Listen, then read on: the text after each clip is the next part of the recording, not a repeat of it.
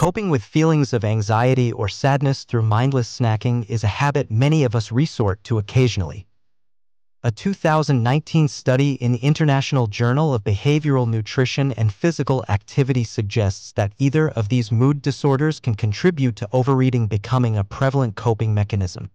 Individuals grappling with depression or anxiety may find themselves gaining weight either as a result of their condition or due to the medications prescribed for treatment.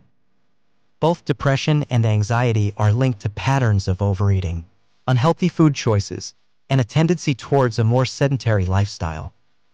Over the long term, these behaviors can contribute to gradual weight gain and potentially lead to obesity.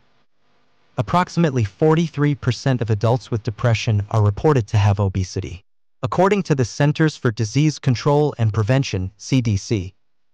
Furthermore, Individuals diagnosed with depression are more likely to be overweight compared to those without such a diagnosis.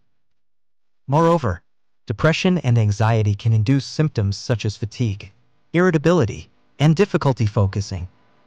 These challenges can disrupt your exercise routine or even lead you to abandon your fitness efforts altogether. Take a moment to reflect on your mood in recent weeks. If you've consistently felt down, on edge, or disinterested in activities you usually enjoy. Seeking assistance from a mental health professional can help uncover the root of these feelings. Appropriate treatment can then support you in maintaining a healthy weight.